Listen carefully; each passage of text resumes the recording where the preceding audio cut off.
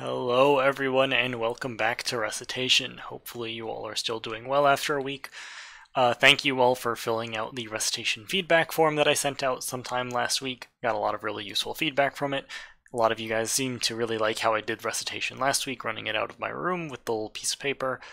Um, so that's how I think we're going to keep doing it from now on until something else changes. So we'll go with that.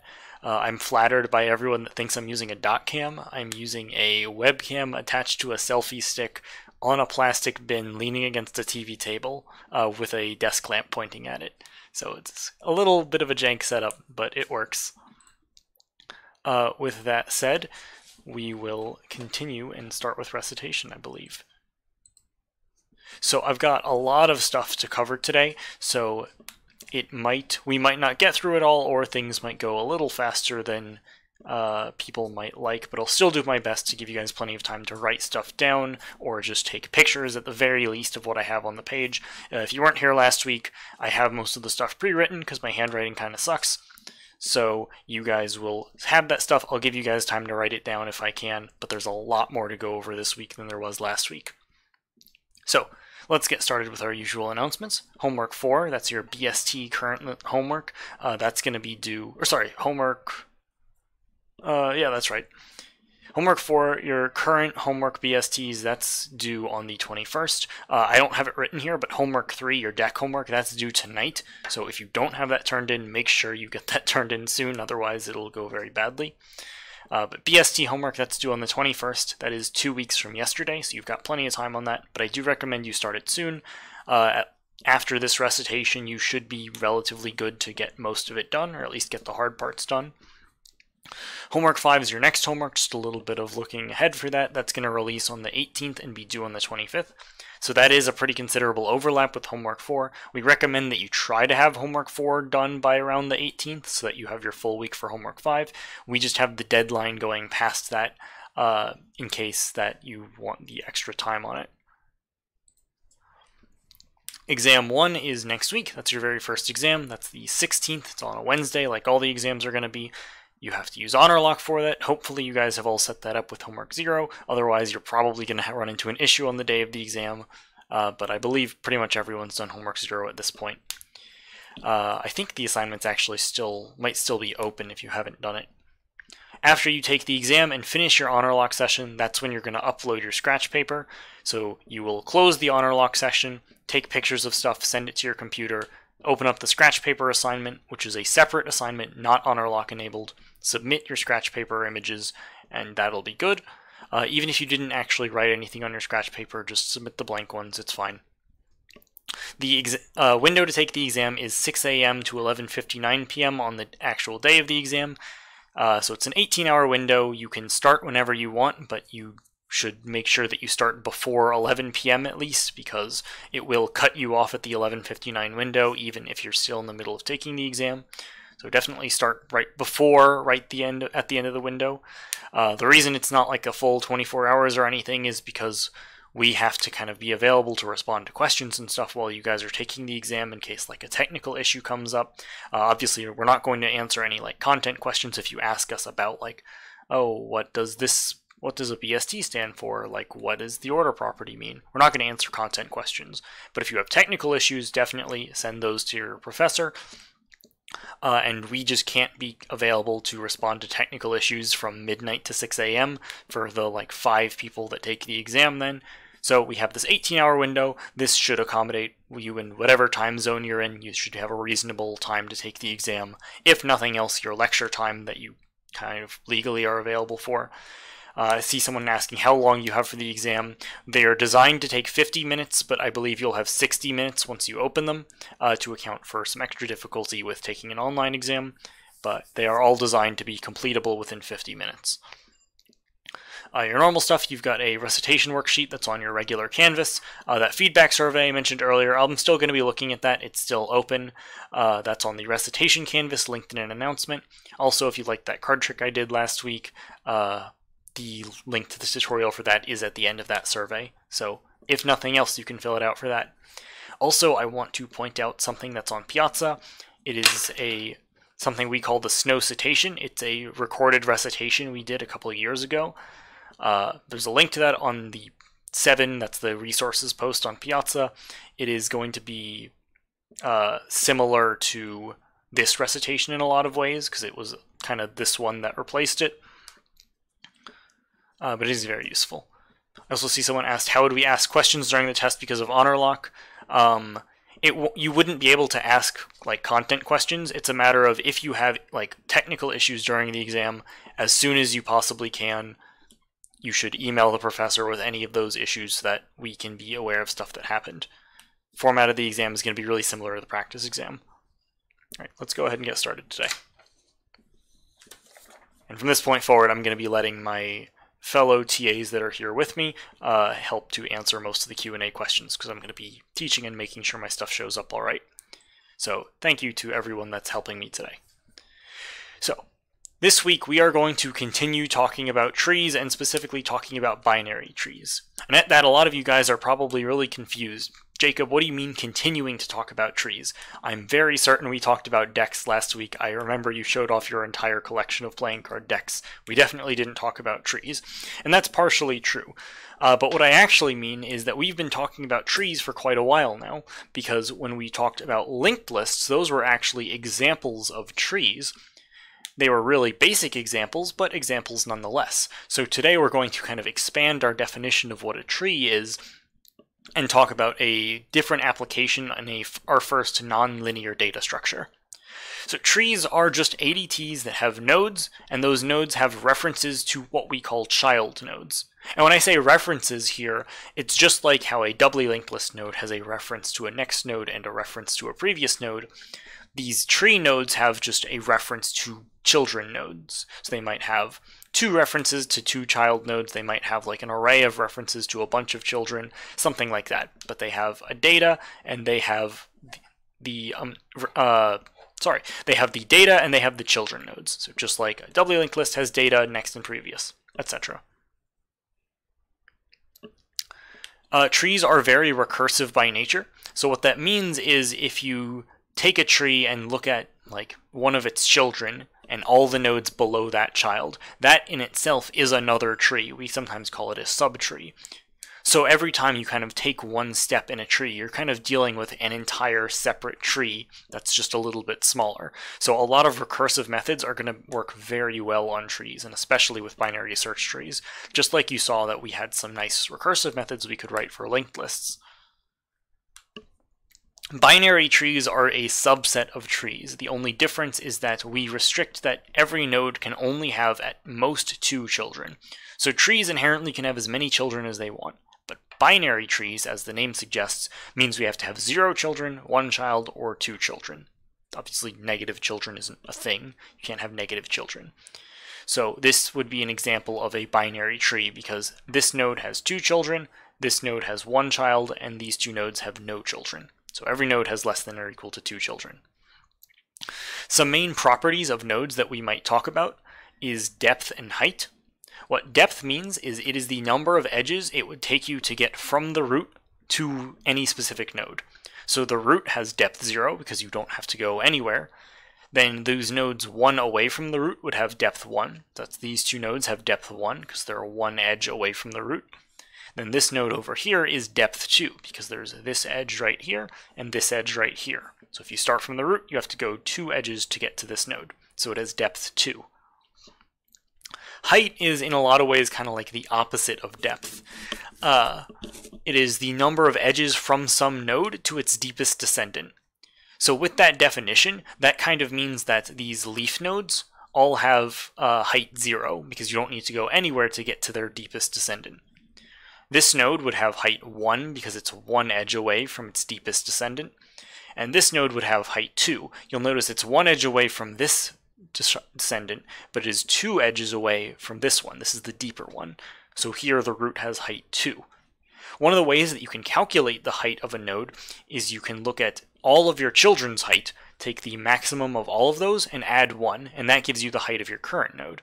And you'll notice that's a very recursive formula. If you wanted to write this in your code, which you'll have to, you're just going to be looking at the max of your left height and the max, or sorry, the max of your left height and right height, and add 1, and that's the height of your current node. Also, as a note with this definition, it kind of means that the height of a like null node is going to be negative 1. That's because our leaves have height 0. So if we consider that it, that would be the height of our children plus 1, that means that this null spot has negative 1 height, this null spot has negative 1 height. So negative 1 plus 1 is 0, which gives us our uh, leaf node height. Another really interesting fact that a lot of people find really helpful is that the depth of the deepest node in our tree is equivalent or is equal to the height of the root, which is also the height of the tree. So this one is like a math equality. This is just kind of like a name definition of equality. We call the height of the tree the height of the root. Those are the same thing. Um, but if you look here, the root had height 2 in that description I gave earlier. This is our deepest node, and that has height 2, or that has uh, depth 2. Inversely, uh, the root has depth 0, and our deepest node has height 0, because it's always going to be a leaf node. So I'll give you a couple more seconds to write that down, then we'll start talking about shape qualities for trees.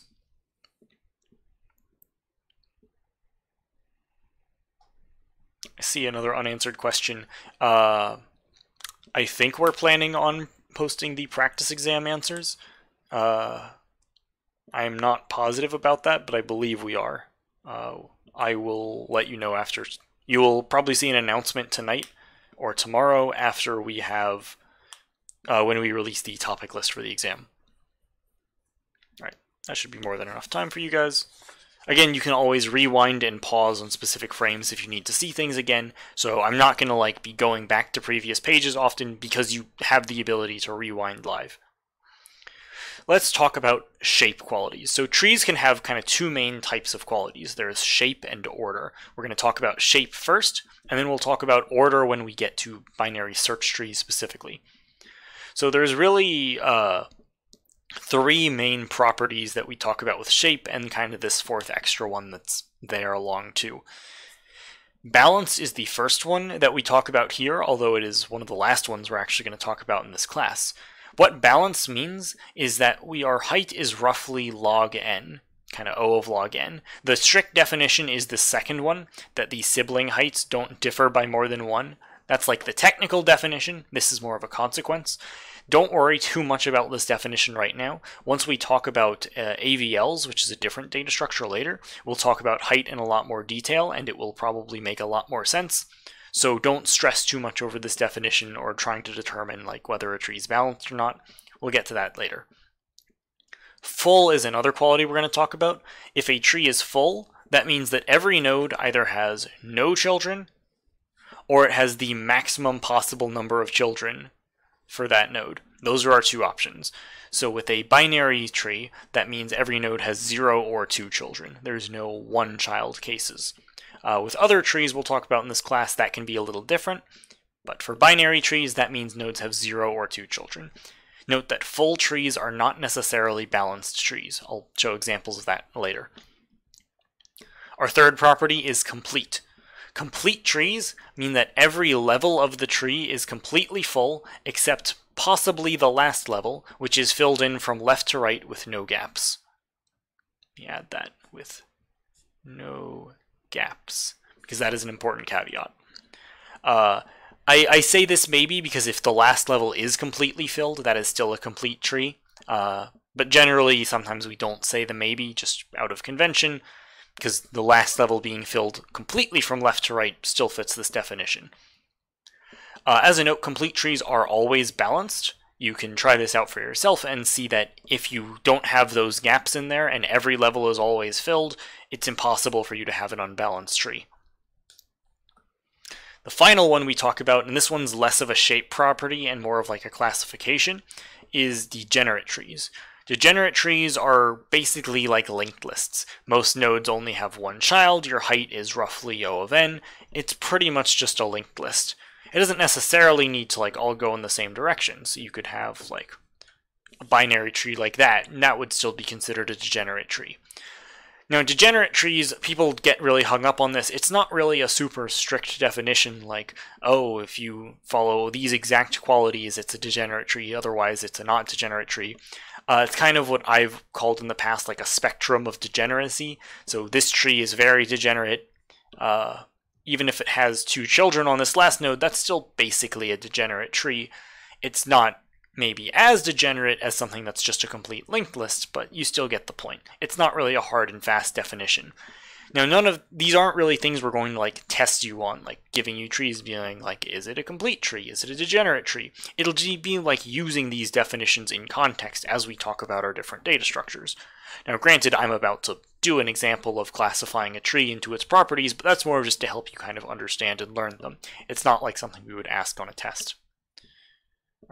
Couple more seconds if you guys want to take a picture or write down some last things. Again, we have to go a little bit faster this week compared to last week, just because we're talking about a lot more stuff.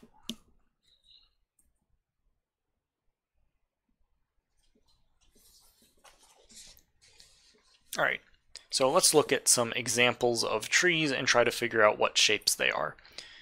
So I will give you guys a second if you want to take a picture of this blank page before I start. Uh, you'll notice I started abbreviating after the first one for what our different properties are, simply because it, writing all of them down all the time would have been not great.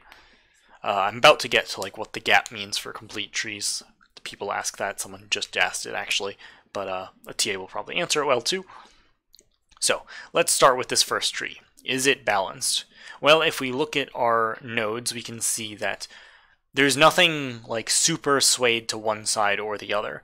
We can see that here we have a child with height 0 and a child with height negative 1. Here we have a child with height 0 and a child with height 1, so nothing's too far off. The tree is still relatively balanced. Now, is this tree full? Well, in the binary tree, remember, full means that we don't have any one-child cases. And right here, this is a one-child case. This node does not have the maximum number of children so it is not full. Is it complete? For complete, we look level by level. This top level is completely filled. This middle level is completely filled. This level, we got two nodes on it. Then this bottom level, we can see it is not filled in from left to right. If it was, there would be a node here, a node here, so the two children of this node, and another child of this node. And that would be what I mean by filled from left to right. So this tree is not complete.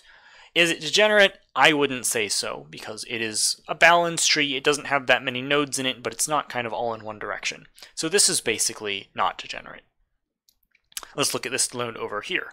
Is this a balanced tree? Well, it's basically the same as this tree over here. We have this extra node over here, so this node is a little more balanced than this node, uh, but the roots are equally balanced, and again, we would consider this a balanced tree. Don't worry too much about the definition of balance. Don't feel like you need to be able to tell whether trees are balanced or not. Until we talk about AVLs, this is kind of just an extra thing we'll mention to keep in the back of your mind. It's not that important. Now, is this tree full? Well, we can look at the nodes. Two children, two children, and then zero children, zero children, and zero children. So every node is either zero or two children, and that is our condition for being a full binary tree. Is it complete? Again, we look at this bottom level and we see that there's these gaps over here on the left side of the level.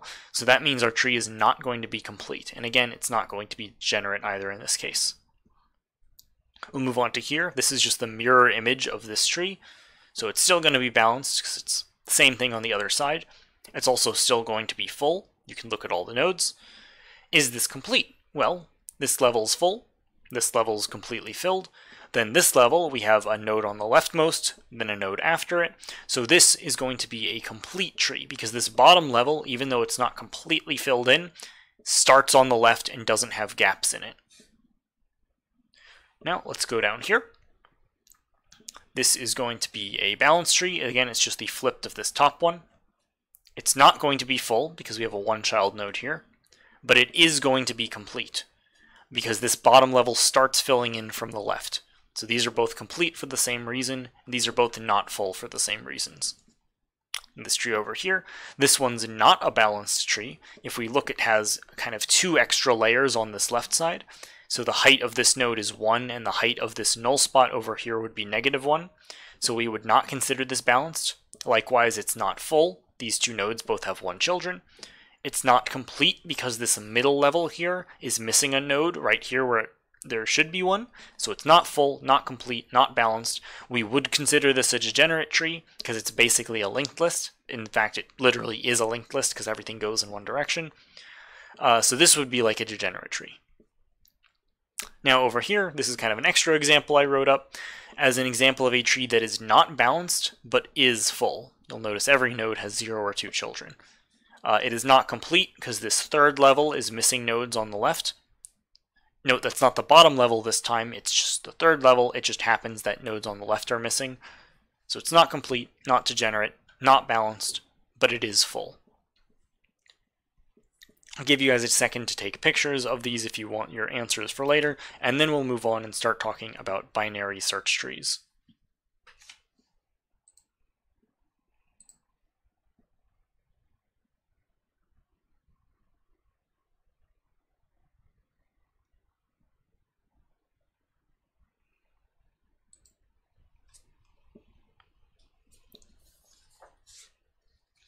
Now let's finally move on to the topic of your homework, binary search trees. So just like uh, trees are a subset of binary trees, sorry, binary trees are a subset of trees, binary search trees are subsets of binary trees. So generally we're just going to abbreviate them at this point as a BST for binary search tree, uh, obviously just to save space, same thing. So a binary search tree is a binary tree that's been given an order property. Now what an order property is, is that's just a relationship between either our two sibling nodes, or in a binary tree our two sibling nodes, but in general all of our sibling nodes, or it's some relationship between the children node and the parent node. In this case, what our order property for a BST says that all of the data to, left, to the left of a node is less than it, all of the data to the right of a node is greater than it, and in this class it means that we don't have any duplicates, so there's no case where you have data that's equal. These can both be written as strict inequalities. So I've kind of have an example down here. You can see all of the data to the left of 25 is less than it, all of the data to the right of 25 is greater than it, and again, since trees are recursive, that follows. If we look at just 18 as its own tree, all of the data to the left of 18 is smaller than it, and all of the data to the right of 18 is greater than it. So all of these trees are very recursive in nature. Now in order for us to have any sort of meaning for data being less than other data, or vice versa, we have to have all of our data implementing the comparable interface. So comparable is in java.lang, java.lang.comparable. Uh, you'll notice iterable, iterable was also in uh, java.lang versus iterator was in java.util. We'll see a similar analogy much later in the course, but that's kind of a parallel you can draw for being both in java.lang. And what the comparable interface means is that our data implements this compare to method. Compare to is a method that returns an integer, which lets you know the relationship between two pieces of data. As a note, when you use it, you should use it as comparisons to 0. So we should have x.compare to y. We should be looking if that's greater than 0, or less than 0, or exactly equal to 0. It is important that you're not trying to check if it's like exactly equal to 1 or exactly equal to negative 1. This is the wrong way to do it. This is the correct way to do it. Please look in your homework PDF. We have details on what the actual return values mean and how you use it. In general, you should always be looking at your homework PDF. There's always a bunch of useful stuff in there for people to see. Uh, in this case, we have details about the comparable interface and how you use it. So I don't have like all the examples written out on here. Again, give you a couple more seconds, and then we'll start talking about how BST operations work.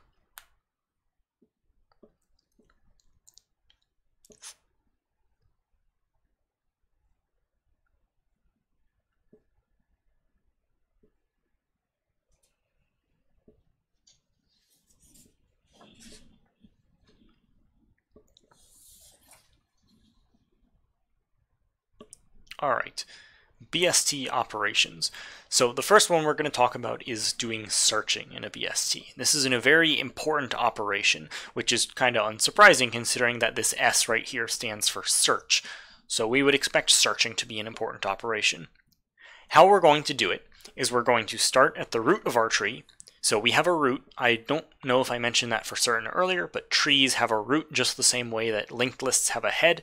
It's our one way into the tree, so if we ever want to start anywhere, we have to start at the root. But our search is going to start at the root, and then we're going to move downward to one of the children at any given step. So the point is that we're not going to go to both children. There's never going to be a reason to check out both children in a search operation. We're always going to be only looking one way. So how do we tell which direction we go? Well, we do this with a comparison. We compare the data, which is the target data that we're searching for in the tree, with the data in the current node. And if our data is less than the current data, then we make a recursive call to the left side, because remember, everything to the left of a node is less than it. If our data is bigger than the data in our current node, we're going to make a recursive call to the right side. Exact opposite reasons. And if our data is exactly equal to the current data we're looking for, that means we found what we're looking for, obviously. And if we ever reach a point where current is null, then that means the data is not in the BST at all because we reached a node, said our data was, for instance, less than it. We looked at all of the data less than that node, which would be to the left, and we found there was nothing. So if we ever hit null in this procedure, that means the data we're looking for was not in the BST. Now you'll notice I've used kind of the less than, greater than, and double equal symbols, but in your homework you should use the dot compare to method and the dot equals method. The only time in here where you should not be using dot equals was this current equals null. That you should use the double equals, but for this one, you should be using the dot equals method, not the double equals method.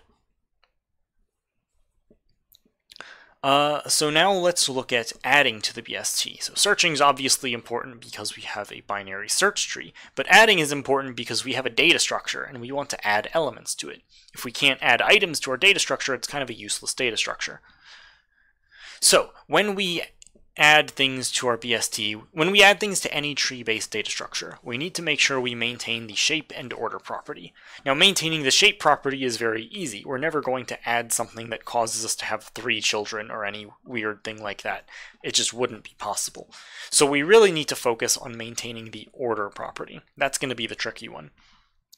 Now, in order to maintain the order property, the easiest way for us to do that is to make sure we're just adding it leaves. If we add somewhere in the middle of our tree, we have like weird stuff going on, we don't really know what's below it, so we're just going to always add at the leaves. And when I say add at the leaves, I mean we're going to create a new node that is a leaf node. So we create nodes that have no children. How we do this is first we search for the data. Now I have search in quotations here. It's going to be very similar of a traversal to what you have up here. I just didn't want to write everything again. Where if our data we're trying to add is less than the current node's data, we go left. If it's greater than it, we go right. But the couple differences with adding is if we find the data that we're trying to add, that means it's a duplicate. The data we're trying to add was already in the tree. So in this class, we won't have duplicates in our BSTs, so this means you should just not add anything. And if we hit null, searching that means that the data wasn't there, which is a good thing in a binary search tree for trying to add, and this means that we found the new spot for us to add our new element as a leaf.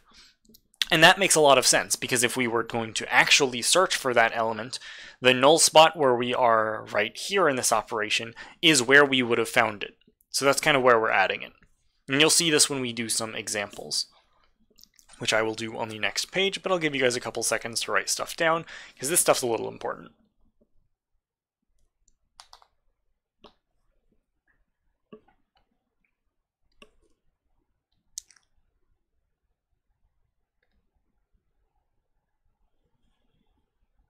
Alright, hopefully you guys have gotten stuff down or at least paused and taken a screenshot of everything so that you can look at it later.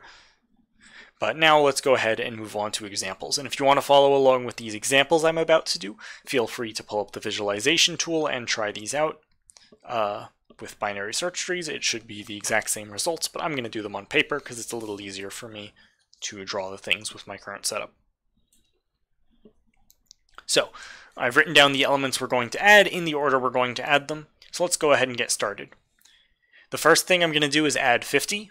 Right now I've got no tree right now, so adding a element to it just means that it's going to become the root of my tree. Now let's add 75. So remember my add procedure is I start with a search operation. So I start at the root. I say, is 75 bigger than my data or smaller than it? 75 is bigger than 50, so I go to the right. and I hit null. This spot over here, no elements here, this is a null spot. And since I've hit null, this means that this is the spot that I should add my new 75. And you'll see if I was going to search for 75 now, I would start at the root, go right by one, and find it just where I added it. So now let's add 100 as our new thing. So when we add 100, we start at the root. 100 is bigger than 50, so we go to the right. 100 is bigger than 75, so we go to the right again. We hit null, and null means that we found the spot to add our element. Now let's do 15. We start at the root, we go left by 1, because 15 is less than 50, so we go left. We find a null spot, which means that this is the spot where we should add our element. I'll go a little faster. 5, we start here. 5 is less than 50, we go left. 5 is less than 15, we go left. We find a null spot, we add our element. Now 10, 10 is less than 50, we go left. 10 is less than 15, we go left. 10 is greater than 5, so we go right. And we hit a null spot where we add 10 as a new leaf. Now finally, we do 25, less than 50, greater than 15, and we found a null spot to add our new element. So this is the resulting tree that you would get after you do all of these operations, starting with a blank tree and give people a couple seconds to finish writing that down or to take a picture of it, but hopefully most people got that as I was writing or wanted to do it on themselves later and just check back with my results. Uh, someone just asked for the constructor that uses the collection, can we use the add method? You can and should use the add method. That constructor should be very short and calling your add method.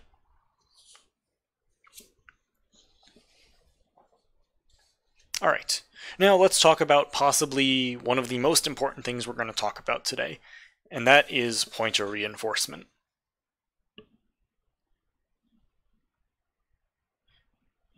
So, pointer reinforcement is very crucial for this homework, and it is very important for uh, future homework that we're going to talk about. The glare is a little bad, but I think you guys can still see most of the stuff over here. This says cur.right uh, which can be a little hard to tell. That's cur.left and cur.right. So pointer reinforcement is something that we honestly don't really expect you guys to understand perfectly the very first time you see it. It is a little weird, it is kind of uh, non-intuitive, but it is very effective at what it does and very effective at making concise code. I highly recommend, after you see this, you look at some other resources, like you look at the Sai Krishna slides that we have on Canvas, you watch the snow citation video that we have linked on Piazza, look at other sources of pointer reinforcement, and try to just digest the information again. As another note, this is kind of a name and technique that we made up ourselves, so if you Google pointer reinforcement, you're probably only going to find 1332 resources or random unrelated stuff, so it might not be the most useful thing. Uh, I know some places this is also called like pointer reset or something. Uh, but in general, this is kind of a name that we made up, so I wouldn't expect to see it in other places. So first, when I mention pointer reinforcement, I should talk about like what the alternative is. So what is not pointer reinforcement? I will stress that this is not a recommended method, but it is something that is called look ahead, or that we call look ahead. The reason we call it look ahead is it's when you're at some given node, you're kind of looking at the nodes that are one edge ahead of where you are. So looking at like the left child, looking at the right child, trying to check if those pointers are null before you make a recursive call. So you could kind of see it as like look before you leap. You're looking if you're about to step into null before you actually do. And this can definitely work for BSTs, but it gets a little messier. It has a lot more edge cases. Uh, it's going to make some other homeworks a lot harder, so it's really not the way we recommend doing it. TAs recommend pointer reinforcement instead because look ahead is going to have a lot of if conditions, you'll have a lot of edge cases, you're more likely to make mistakes with look ahead even if it is a more intuitive method of coding. We really recommend that you try to use pointer reinforcement even if it's a little bit of a struggle at first what it actually is, it is a add and remove technique for uh, BSTs, uh, you can use like pointer reinforcement style code for stuff like uh, get or contains, but it's really only important for methods that actually change the tree. Uh, so I call it an add remove technique here. The TAs highly recommend this. Every single TA you talk to will recommend doing pointer reinforcement on this homework and recommend doing pointer reinforcement on the later homework where it's applicable. It is important. Please do it. Pointer reinforcement will cover pretty much all your edge cases very easily. You people tend to get worried because they feel like they haven't written any edge cases because pointer reinforcement just kind of covers all of them. And if you use pointer reinforcement, once you get to the AVL homework, that's homework 7, uh, you'll be able to practically copy and paste your code for BSTs and everything will work fine. If you don't use pointer reinforcement on this homework, you will have to basically rewrite homework 7 from scratch, and that is considered generally the hardest homework in this class if you have to write it from scratch again. The base kind of characteristic of pointer reinforcement is that when we make recursive calls, we set the child that we're recursing towards equal to the result of the call. So remember that when we talked about search, we talked about like recursing to the right child or recursing to the left child. In this case, that means we're going to have something that like uh, cur dot right equals our add helper on cur dot right. Something like that. So the important thing is this result is getting set equal to some child value. Again, this is a little bit of a weird stuff. It'll make a little more sense once you've seen it, though, I think. The point is that each of these recursive calls is returning the root of a new subtree, specifically the subtree that you're trying to operate on. So all of our recursive calls that we write with pointer reinforcement return a node as the return type. When we're doing adding with pointer reinforcement specifically, these are kind of the things that we have to change. It means that when we hit null, we return a newly created node. So instead of actually like uh, setting some pointer explicitly equal to a new node, we just create a new node and return it. Otherwise, in the case that we're not hitting a new null, a uh, null spot, we're going to just return the node we're currently at after we make our recursive call. And remember, when we make our recursive call, that gets set equal to our child value leave this on screen for a couple seconds for you guys to write this down. I know there's some text heavy pages today, but hopefully the information is very useful to you on homework 4.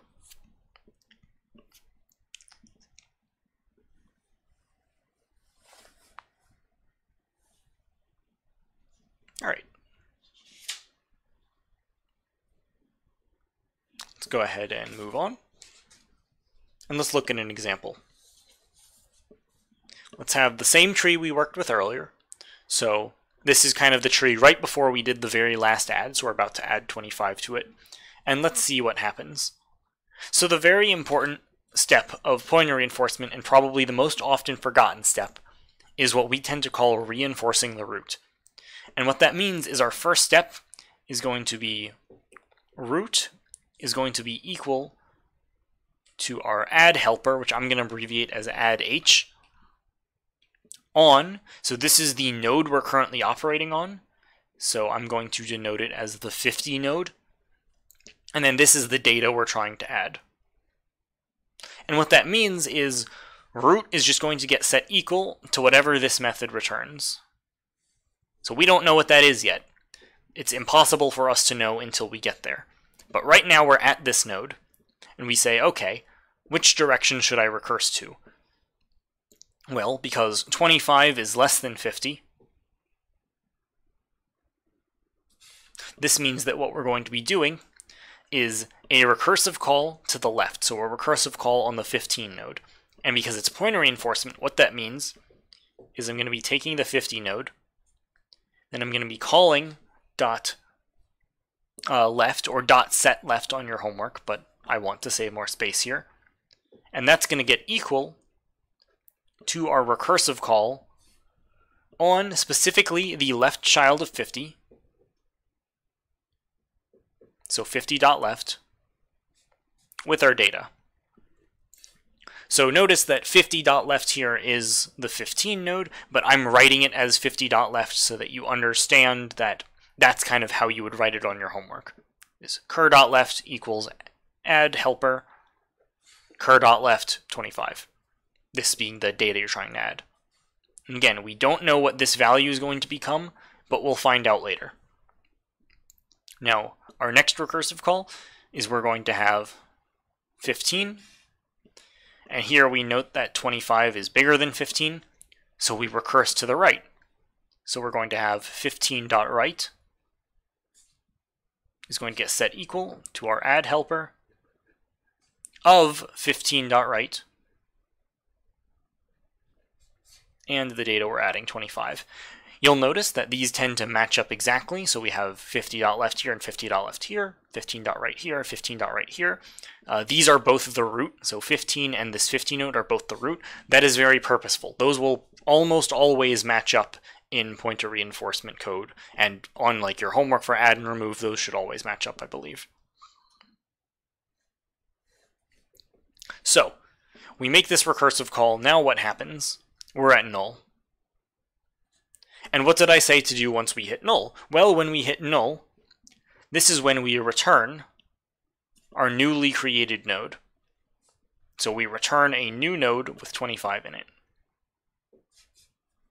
And that return value goes up to here. So what does this line of code say? It says set 15's right pointer to the result of this call, which we just said is 25.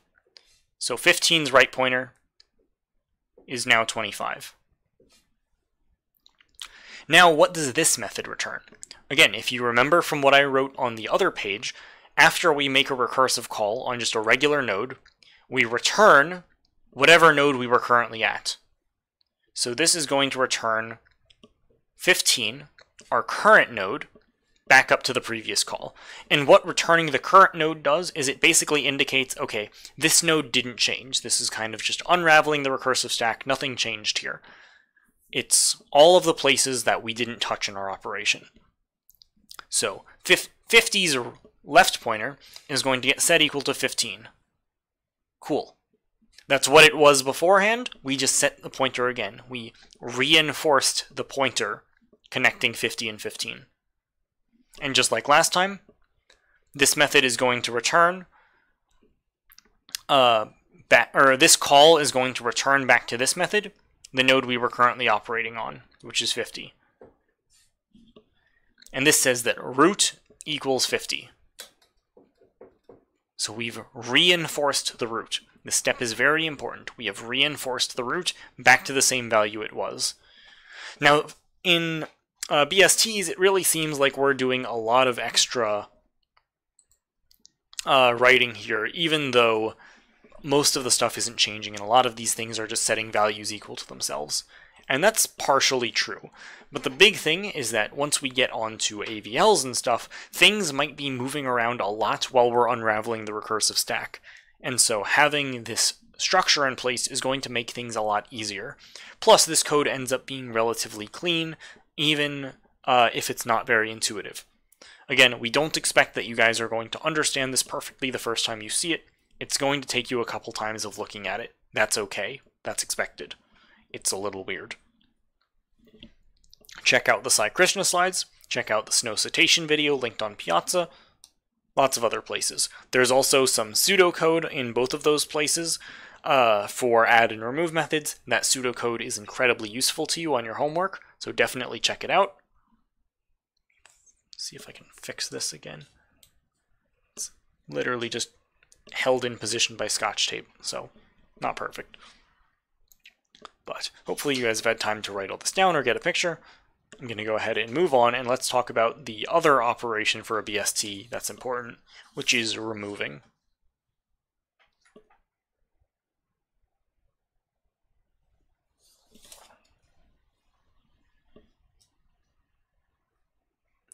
My camera's a little out of frame, but I think this has everything on screen. Uh, if a TA could let me know if there's something that I can't see. But I believe that's all good.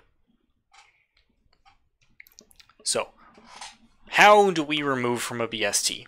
Well, the general algorithm is going to start very similarly to how we did for other things. Our first step is going to be to find the node.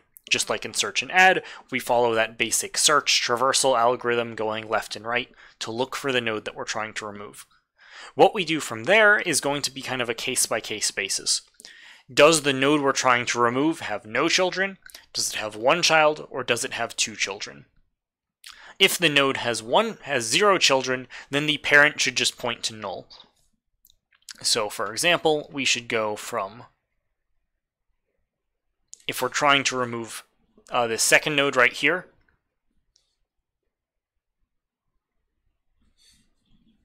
it should just go from this two-child case to kind of this single parent pointing to null. I know you guys can't really see that, but hopefully you at least get the idea that when we remove this bottom node, because it doesn't have any children, its parent just points to null afterwards. This is a null pointer over here. If we have a one-child case, so that would be like A pointing to B pointing to C, and we're trying to remove B, then our parent should just point to that single child of B. So it just kind of shifts upward, uh, nothing gets rearranged or anything. There might be more things below C that doesn't matter. Two children is the weird one, and that's the main one we're going to be talking about uh, during today's recitation. In a two children case, we're going to have to replace our node's data with what we call the predecessor or successor. Uh, you'll notice uh, the successor is the one on your homework. So that's the one I'm mostly going to talk about today, but they are basically the same thing. And then you remove that node which you used to replace the data. Now, a lot of people always ask, okay, how do you determine whether to use the predecessor or successor? Uh, this is kind of our first instance of an implementation detail, where to the user, it doesn't matter whether you pick predecessor or successor. You could do either, they both work exactly the same, and they both work just fine. But for the sake of the homework, we ask you to specifically use the successor because that's what allows us to grade your code and know exactly how things should perform. But which one you choose doesn't really matter that much in the long run. Now, what are these strange words that I've used? The successor is the smallest value after the value we're trying to remove, or just after any given value if we don't care about removing. So what that means is if the data we have are in order, the successor of a piece of data would just be the data that follows immediately afterwards. So that's kind of one way of thinking about it.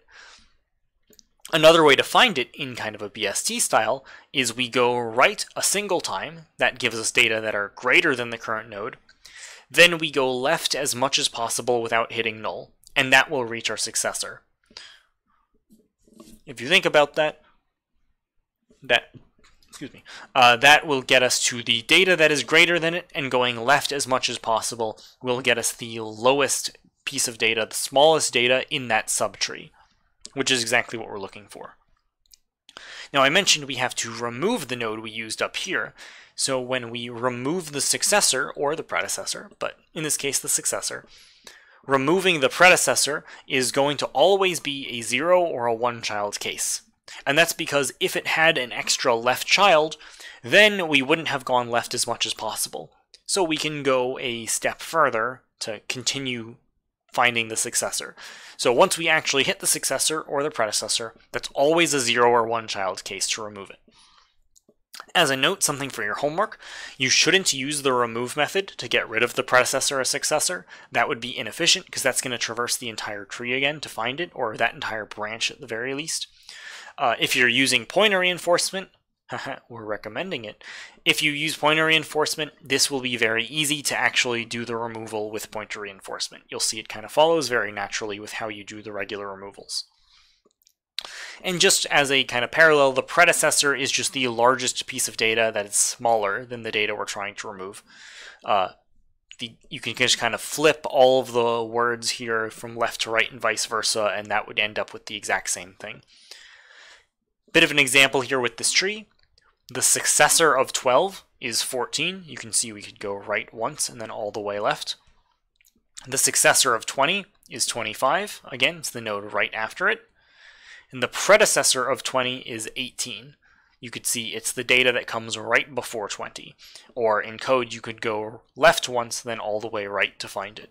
So just some examples uh, that you could try on your own, looking at trees, figuring out whether data was predecessors or successors. But on your homework, you should be using the successor node to remove.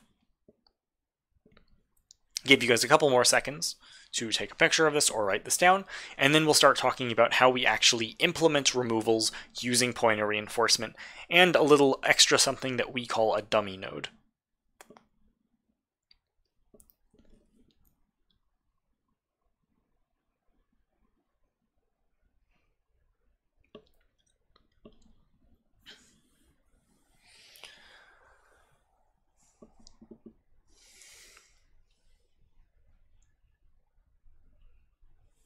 Okay. Let's talk about implementation.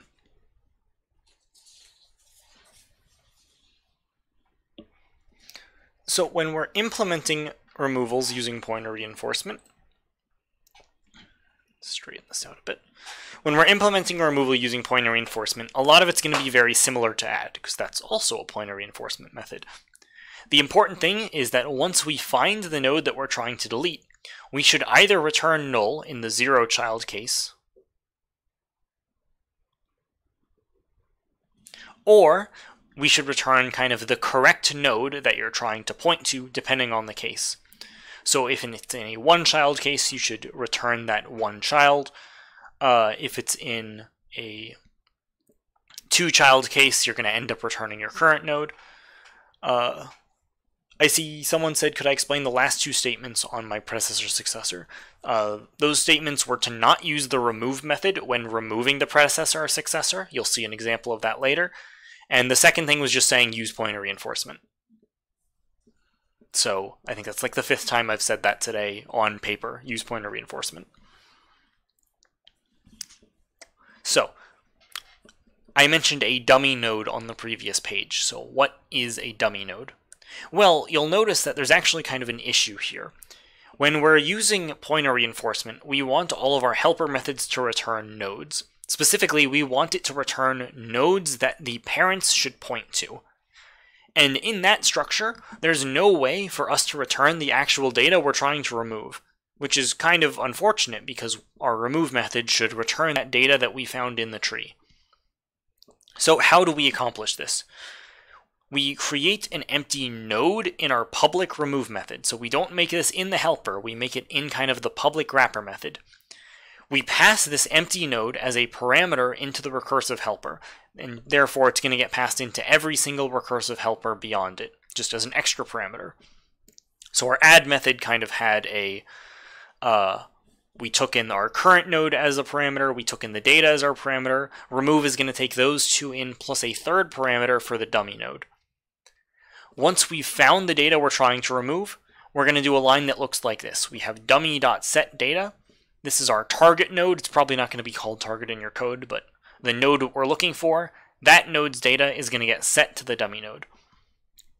Then, once all the recursive methods are done and returning, they'll go back to the public method, and once the public method has access to the dummy node, because it's the method that created it, and it can just return dummy.get uh, dummy.get data because it's going to have been set in a lower recursive call, which is and then that is going to persist all the way through the recursive stack back to our public method.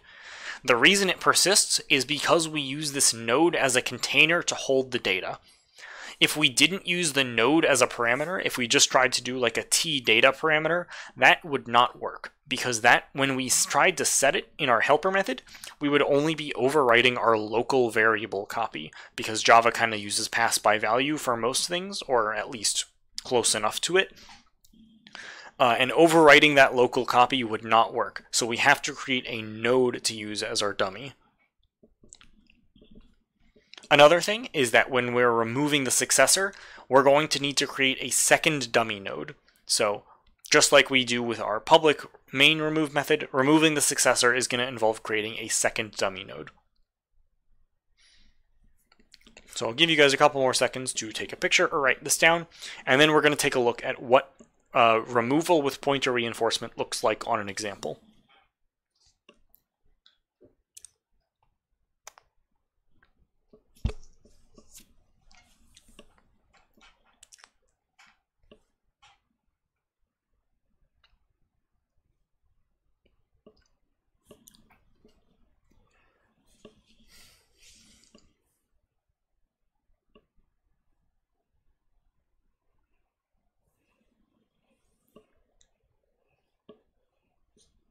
All right.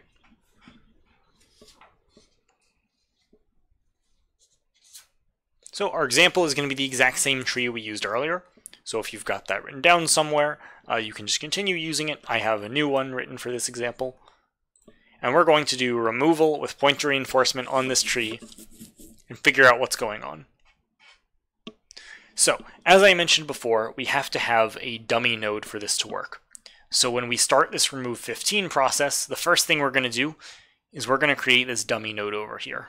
So I'm going to name it dummy. If you want to give it a little bit of a nicer name, like uh, node goblet or something, uh, feel free. We see all kinds of clever and funny names on your guys' homeworks when you submit, but lots of stuff you can use whatever you want. Dummy is just kind of the standard. So just like we did for our add method, our first recursive call is going to need to reinforce the root. That means we're going to have root equals, I'm going to just uh, abbreviate this as remove h. Now we pass in the root here, which is 50 in this case, the data we're trying to remove, and our dummy node. These are our three parameters of our remove helper. So what that means is now this pointer is kind of gone. It hasn't been set yet. It's looking for what it should be set to. And I'm going to kind of illustrate that a little bit more in this example than I did with the add example. But that stuff's not actually really any different. Then we get to this 50 node. We see that in this case, uh, 15 is less than 50. So we're going to recurse to the left, which means that we're going to have 50 dot left is going to be our remove helper called on 50 dot left. Again, we want these to match up. The data we're trying to remove and our dummy node. Exact same dummy node here, exact same dummy node is here. Now we do our data comparison again. In this case, we see that uh, 15 is exactly equal to 15. Again, on your homework, remember that these are dot compare to and dot equals methods. So, we now we look, how many children does 15 have? So we could say that this is a two-child case. It is a two-child case because 15 has a left child of 5 and a right child of 25. Oh, sorry. Uh, this pointer is kind of up in the air also because we when we made this call on 50 dot left. So now, how we do this is we're going to use the successor. And I mentioned that you should use pointer reinforcement with the successor too. Again, if you want to see kind of pseudocode of what these methods look like, feel free to uh, look on the snow citation video, or I think even the Sai Krishna slides have good pseudocode. Uh, there might be even some more somewhere else on Canvas. But I'm just going to be kind of describing what goes on. So when we do the successor, we're also using pointer reinforcement. So successor moves to the right by 1. So 15 dot right equals, uh, let's just call it remove successor on 15 dot right. And I mentioned that we were going to need a second dummy node here. So let's go ahead and create that.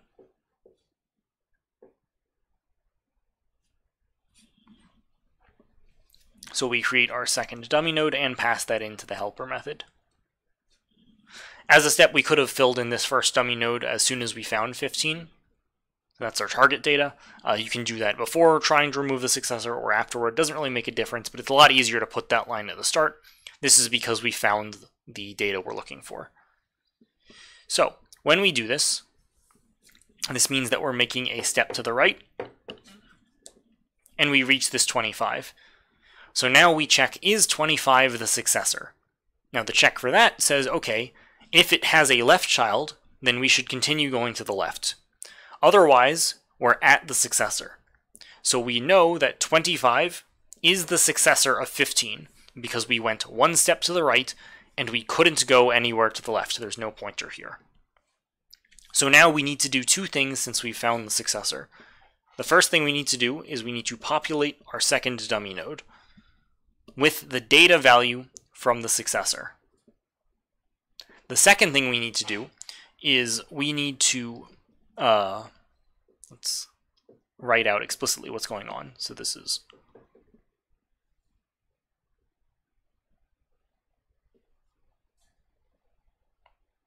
This is inside this call. We don't have a left child, so we populate the dummy node, and then we are going to remove 25. Now remember I said that when we remove a one child or zero child case, we just kind of need to return what the parent should point to. And in this case, when you're removing the successor, the thing you can always do is just return the right child, because that's either going to be null in the zero child case, or the right child in the one child case. Should be return 25 dot right. Now that is null. And what returning null does is remember, this is going to go up to here. It says that 15 dot right should point to null, which is going to remove 25 from this list, or from this uh, tree, sorry. Now, we're back up here in our 15 recursive call. The important things, we've populated our dummy node. Now, for our two-child case, we have to replace the data in this node with the data from the successor. We know the data from the successor is the data in our second dummy node. So let's do that. We're going to replace this 15 with 25. And now that we've done that, we need to just return 25 which is now our current node. Remember, our, what our current node was didn't change. Only the data in that current node changed. So we are going to return the same node containing 25 back up to this method. And this says 50's left pointer should be set equal to this node that's containing 25. So this pointer didn't actually change. Even though the data it was pointing to did change, the pointer itself stayed the exact same. And again, just like we did in the add method, for nodes like this where nothing went on in the 50, all we need to do is return that current node we're at. So this is going to return 50. And this says that the root should get set equal to 50, which is exactly what it was before. So now, with pointer reinforcement, and then uh, our public remove method would return this data in the dummy node back to the user, and everything would be done. Now, that is a completely done remove method using pointer reinforcement. It's going to be a little weird. I recommend looking at a couple other sources of stuff, stuff in the Sai Krishna slides, the snow citation video, uh, we'll do some stuff in lecture, there's probably some stuff in the course videos. Look at it in other places, try to do examples of it. It will make more sense after you've done it a little bit, so I recommend that you try to start on it a little early so you're not trying to do this last minute. But really, try to do this homework using pointer reinforcement, even if it's a little bit harder. You will thank yourself later, trust me. I'll give you guys a couple more seconds to write stuff down, and then we'll move on to some of the efficiency stuff regarding BSTs.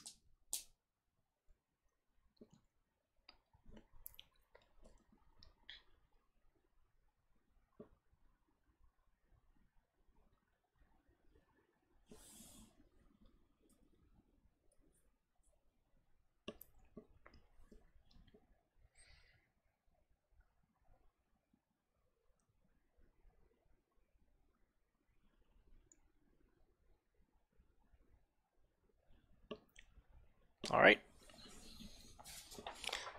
So let's talk about efficiency.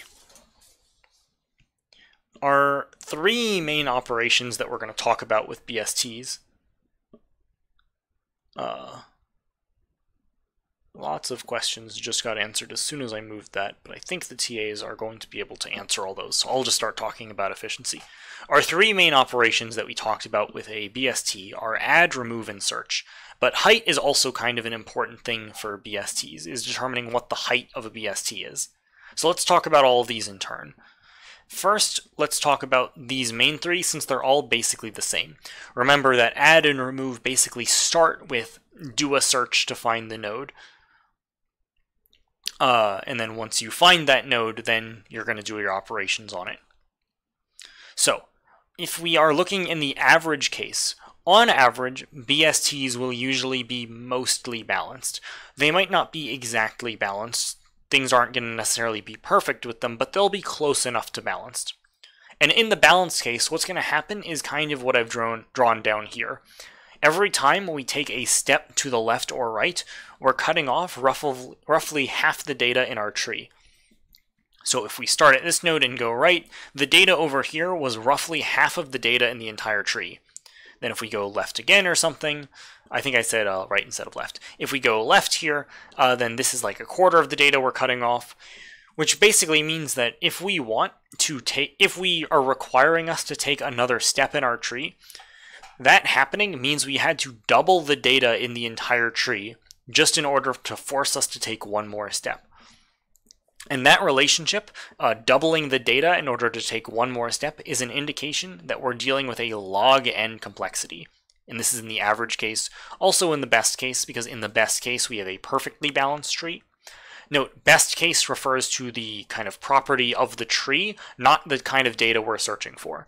So a lot of people think best case is O of 1 because like just search for the root that's O of 1 time. But no, best case means what could the data structure look like for our oper for any kind of uh, input to give us the best case time. And that's going to be not any different in this average case. So that's going to be log n. A lot of people always ask, okay, what's the base of the log? Here it's pretty clear that I'm talking about log base 2 because it's a binary tree. But in computer science for big O notation, or just in big O notation in general, uh, remember that constant factors don't matter. And if you remember back from like pre-calculus or something, the change of base formula for logarithms, uh, all logarithms are a constant factor away from different bases. So like uh, log base 2 of n is only a factor of like log base 2 of 10 away from log base 10 of n, or something like that it's not a big difference which one you use. The worst case, remember, this is what's going to happen when we have a degenerate tree. So if we have a BST that looks like this, then adding and removing and searching and stuff, that could potentially take O of n time, because we might have to go through every single node in the list to find things. So all of these operations can potentially be very slow, and we'll talk about ways how to mitigate that later in this course when we start talking about uh, balanced trees like AVLs. Now what about height? If you remember all the way back from like one of the first pages I had here, height is a recursive definition that has to look at both of the children. We have to look at the height of the left subtree and the height of the right subtree, take the bigger one and add 1. But to calculate both of those height values, we have to look at all of the nodes below them. And this is kind of a thing of there's no way for us to know in advance uh, which of our two children is going to have greater height without actually calculating the height first. So height is going to require us to go all the way down to the base of the tree, reach our leaves or null spots, which are our base case, and then recursively unravel and go back up to the root. So no matter what kind of tree we have, height is always going to involve touching every single node in the tree, which is going to be an O of n case because we have n nodes in the tree. So I will give you guys another minute or so to write that down, uh, answer, ask any questions you want so the TAs can answer them, and then because we finished with a couple minutes left, uh, and you guys seemed to like them so much last week, I do have a card trick prepared for you guys that hopefully will go well and hopefully you guys will enjoy.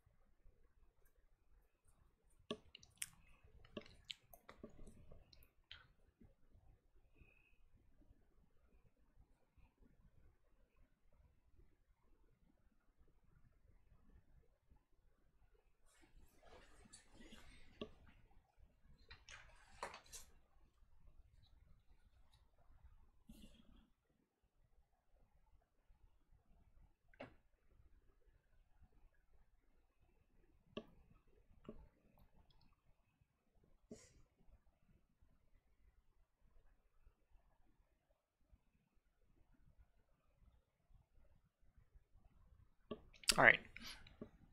Uh, doesn't seem that uh, there's too many questions. I see one question at last minute. Uh, because we had a recitation on the very first week of class, which is not normal. Normally, we do not have recitation on that first week. Recitation has gotten to the point where it can get a little bit ahead of lecture. So, some of the stuff I talked about today, we actually are going to talk about like Wednesday or Friday in the class, but it just got a little bit ahead of it. Um, that's just kind of how it worked out we're making use of the time we have because this recitation and this information is kind of important for you guys to start on your homework. So we figured it was more valuable to just get the information to you now so that you can start on your homework, even if you'll kind of have seen it in recitation before lecture, if you're only following along with the live lectures. But regardless, let's pull up this to make sure everything's in frame, and let's hope this card trick goes well. So uh, I will warn you, I basically pack practiced this trick like once last week, so if it goes poorly, that's my fault. But I've got our deck of cards here, and we're going to do a trick with them. Now this trick only actually is going to require us to use four cards, the four through ace of hearts specifically. So let's go ahead and get those out of our deck. Ace, there's the two, there's our three, and there's our 4. So I am going to need them in order. Ace, 2, 3, and 4 of hearts.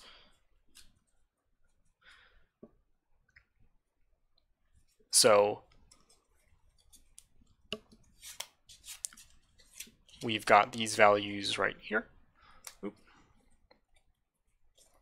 Sorry, I need to keep them in order. Otherwise, uh, things are going to go very poorly. So ace, 2, 3, and 4 of hearts. These are the four cards that we're going to be working with for this trick. And the basic idea is I'm going to be taking these cards and I'm going to be flipping them over one by one, just by doing a simple turn of the card.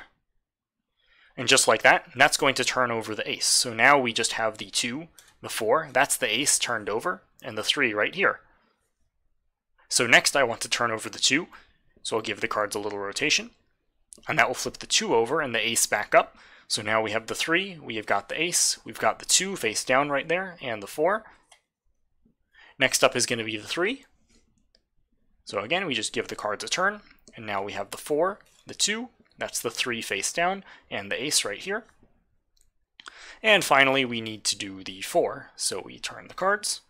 Now we have the ace, We've got the 3, that's the 4 right there, and finally the 2.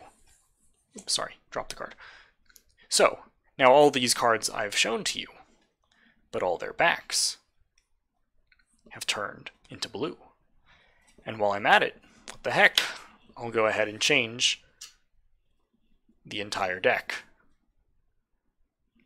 And that was today's card trick, and that's going to be the end of this recitation. If you want to look that trick up, it is called the revolver trick, I believe. Uh, I don't remember the exact name of the YouTuber who uploaded it, but you can find the trick on YouTube. I will probably link it somewhere if I remember to at a later point, or if I send out another announcement about it.